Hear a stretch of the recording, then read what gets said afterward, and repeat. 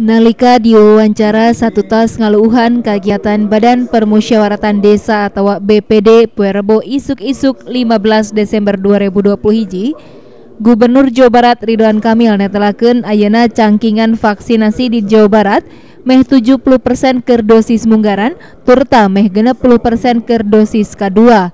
Gubernur Jawa Barat Ridwan Kamil ngembohan reragad lebah nyorang vaksinasi di sababara lelewak tehnya eta kurangna mobilitas turta sawangan yen COVID-19 geus musnah. Kukituna pihakna satekah pola ngarojong persentase ngaliwatan vaksinasi budak umur genep tepi ka 11 tahun.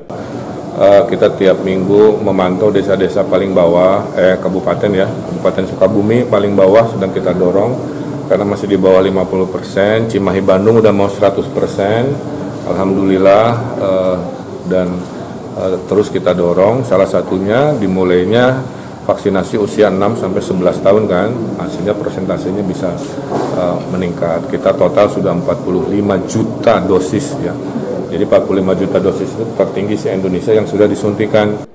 Masih cek Ridwan Kamil, stok vaksin di Jawa Barat tepi kakiwari masih aman. Arif ngenaan vaksin booster bakal disuntikan upama stok vaksin anu bakal kada luar sama masih rea. Budi Hartati, Bandung TV.